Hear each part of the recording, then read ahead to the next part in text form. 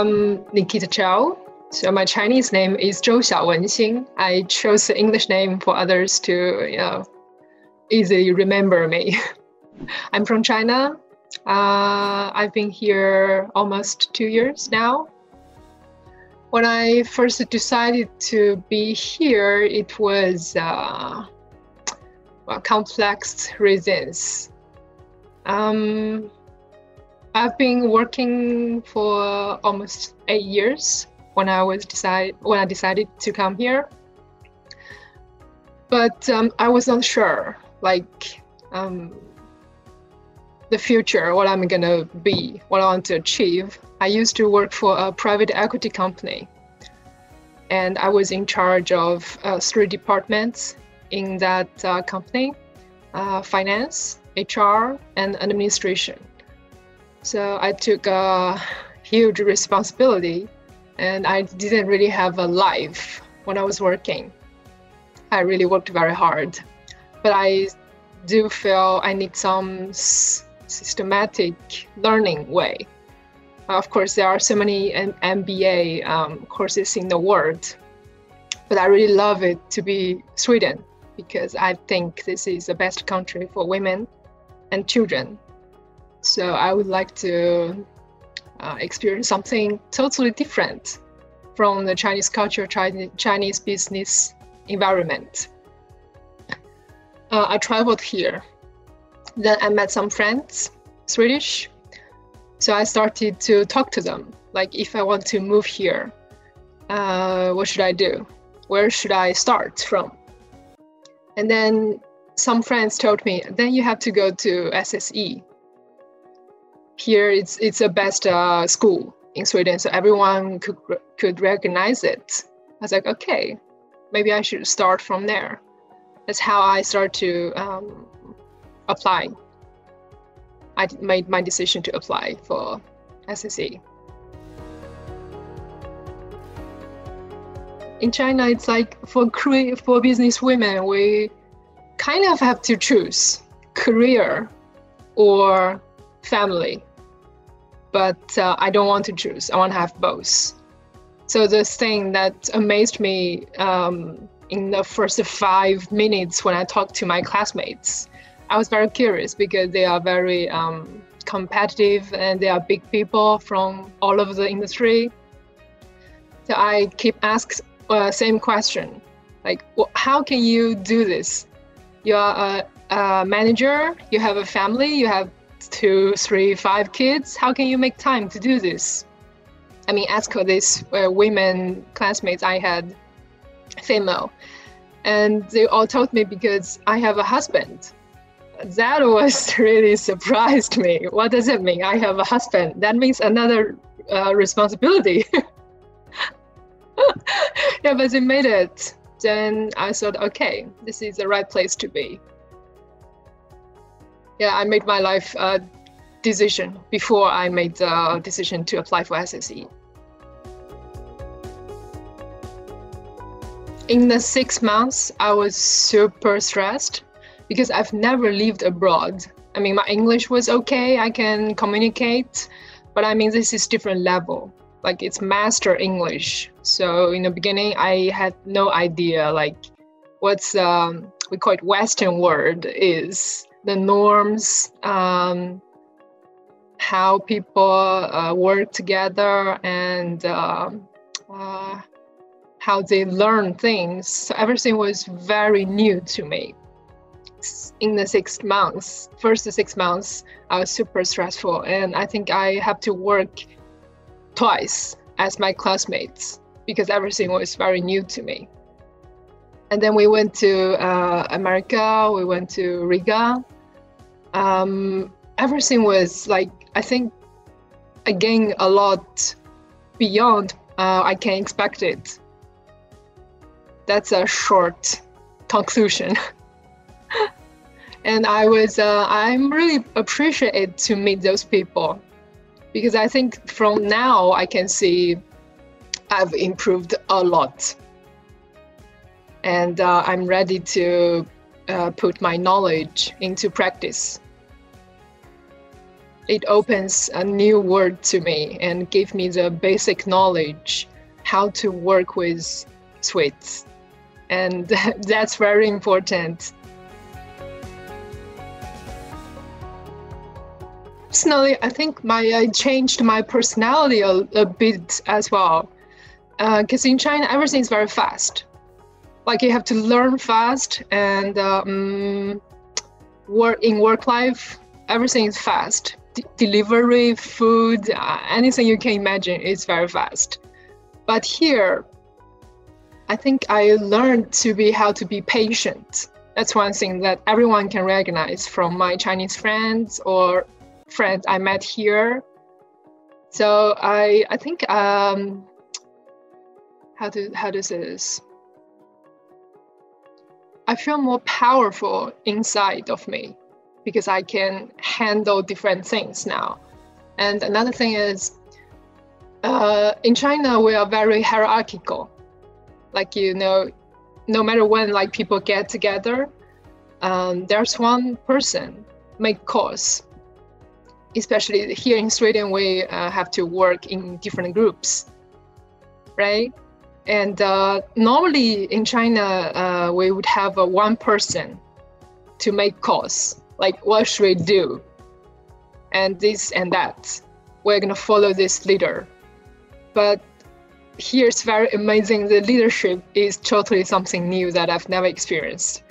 I don't know what to do with them because it seems no one was jump out saying, okay, now we're going to do this and we're going to follow the path and blah, blah, blah, blah. Everything's very clear. No, it was nothing was clear to me. And people just uh, give um, the ideas and they talk and somehow we make it and still today i don't know how does it work and and in the beginning i was very confused and i talked to my coach we have this uh, uh, personal coach uh, assigned to us. I talked with her about this topic a lot. I feel confused. How how should I perform in a team? And then I learned there is a new way, like to work in groups. Not necessarily like you don't really need a leader leader to lead the group. Everyone can be a leader. And the more you you talk, maybe the idea the better. That's one thing I've learned.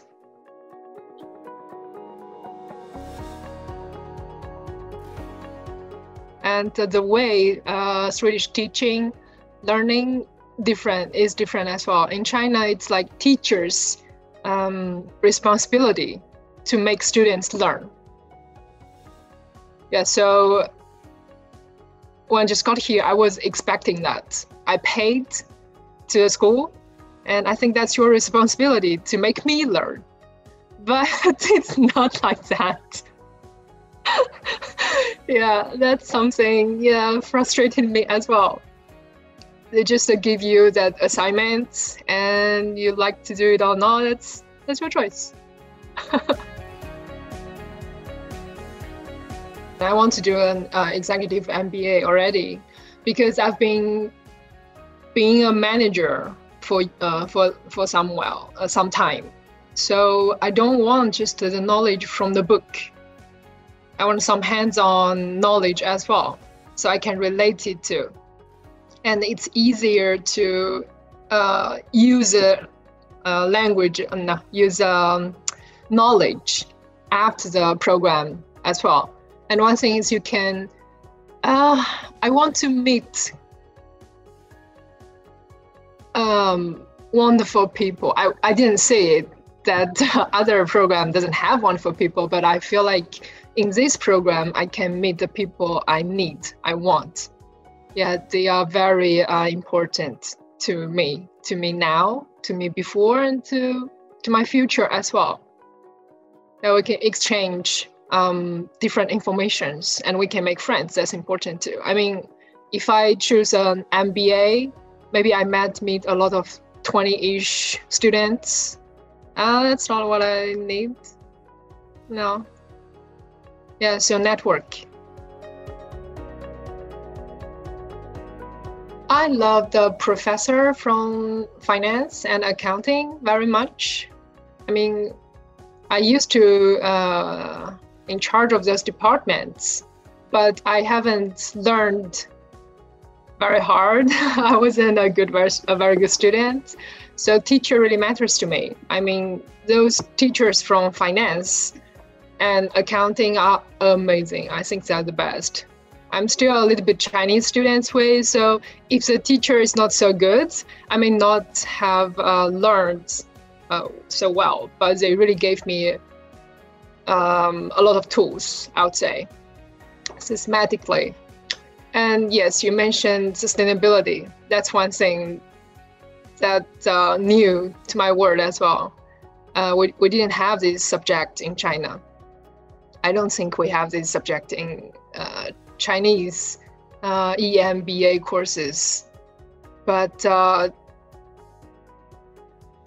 I after that uh, sustainability course, I've started to think a lot like sustainability.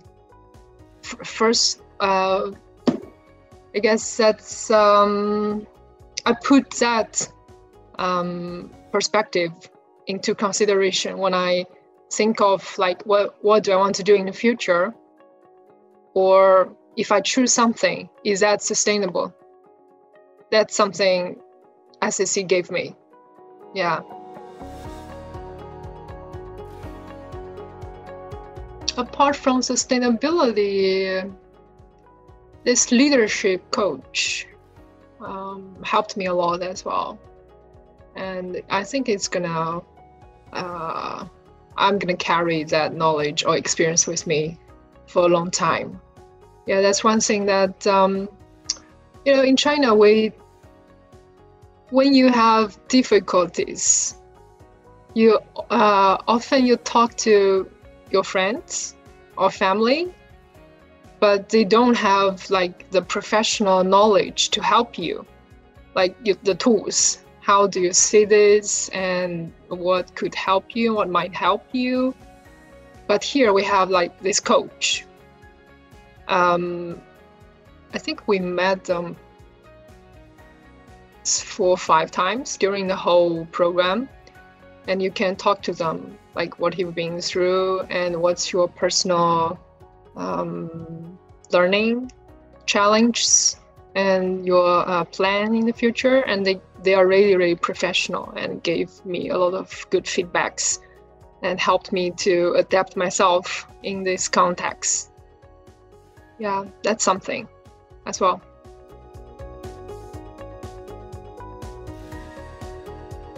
during the two years actually i've i've employed i've been employed but by the private equity company I was in China. So I was still employed by that company, but I didn't do like daily management work.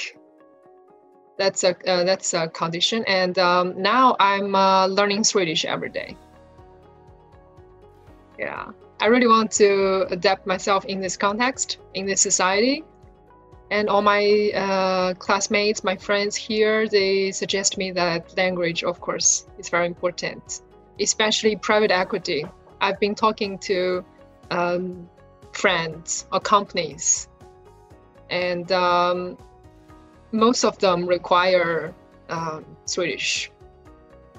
Yeah so now i'm working on my swedish. I'm still a student